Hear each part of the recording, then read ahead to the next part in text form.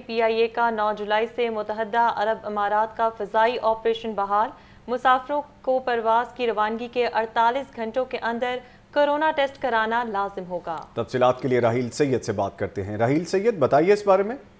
P I ए ने मुतहदा अरब अमारात का ऑपरेशन जो है बहाल करने का ऐलान कर दिया। नौ जुलाई से जो यू ए के लिए फजाई ऑपरेशन जो है वो बहाल किया जा रहा है। पी आई ए पे पहले यू ए से में पाकिस्तान, फंसे हुए पाकिस्तानी को वापस लाने के लिए एक तरफा तौर पर प्रवासन चला रहा था, लेकिन अब पी आई ए के ज़रिए जो मुसाफिर हैं, वो दुबई, शारजा, अबू धाबी और दिगर जो ये जो रियासती है, वहाँ पर जो है वो सफ़र कर सकते हैं। तमाम मुसाफिरों को प्रवास की रवानगी के अड़तालीस घंटों के अंदर कोरोना टेस्ट करवाना लाजमी होगा।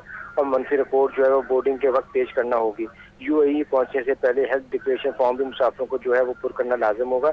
पी आई ए तर्जमान का कहना यह है कि टिकटों के फरूख का आगाज़ हो गया है, जो पी आई ए के दफातर के अलावा वेबसाइट और एजेंट से भी हासिल की जा सकती है। और इस हवाले से बाकायदा तौर पर पी आई ए की वेबसाइट पर तफसीत जो है वो फराम कर दी गई हैं।